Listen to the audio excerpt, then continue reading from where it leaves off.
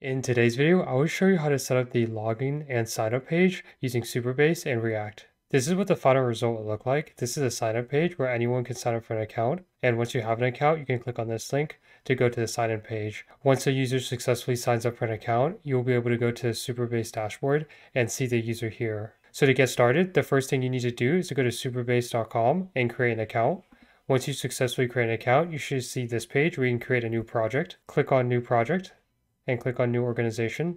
And for the name, just type in whatever you'd like. I'll just type in tutorial for this example and hit create organization. Then type in a name for your project. I'll just do tutorial example. And for your database password, just make sure it's like a strong password.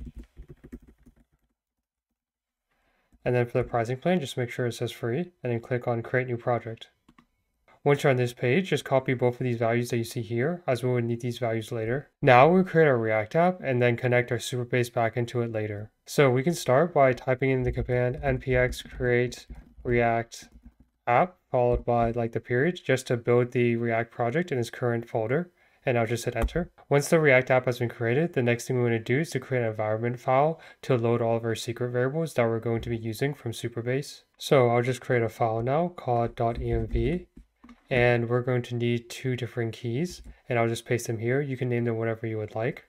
For the first key, for the Supabase URL, we can get this by going back to Supabase dashboard and just copying the URL here and just pasting it. And then for the anon key, just copy it here and then paste it here as well and hit save. Then we can open up the source folder and open up the app.js file. We will be using a pre-built auth UI component that Supabase offers.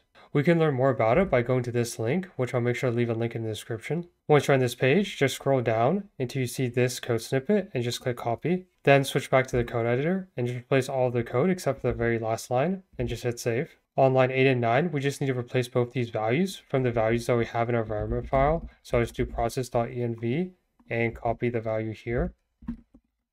And then do the exact same thing for the second line here. And just make sure to use the right key and then hit save. One last thing that we need to do is to actually install the Supabase package, which you can do by going back to documentation link, scrolling up and copying the command here, and then pasting inside terminal and just hit enter. Once that process completes, actually we need to remove the code that's on line 15. Then the very last step we need to do is to add one more import statement, and that is this import statement here. Once you've done that, now you can run the application by typing npm run start and hitting enter. And if you've done all the steps correctly, you should now see this page. We can test the sign up page by clicking on this link. And for the email address, just type in your email. And then for the password, type in any password and click sign up. You should now see this message saying to check your email. If you go to your email, you should see a link just like this asking you to confirm your sign up. And just click on the link that says confirm your mail. And it should bring you back to this page. If we go back to the Supabase dashboard and click on authentication here, you should now see the email that we just signed up with. If we go back to the React app, we can now log into our account as well. And the easy way to test that this is actually working is to look at the network tab as we make the sign in request.